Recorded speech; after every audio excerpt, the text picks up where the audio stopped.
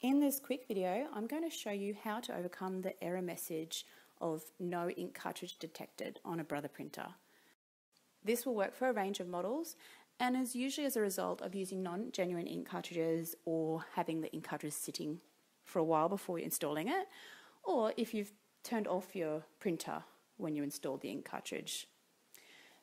Now, the first step you should try is have the printer switched on and uninstall all of the ink cartridges and then close the ink cartridge door and then reinstall each cartridge one by one, closing the, the door each time. And if you're prompted of whether you change the ink cartridge or not, always select yes.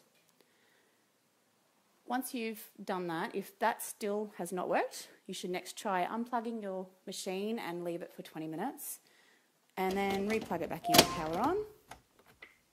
This will reset the memory. If, if this still has not fixed the error, I do have another video on this, but you just need to block out the indicator window on the ink cartridge. You can try shaking the ink cartridge gently first, just so that the window is full with ink. If this doesn't work, you can block it with tape or you can draw over it with the black marker. If none of these methods work, please do let me know in the comments. And if you do have anything else you'd like a hand with, please just say.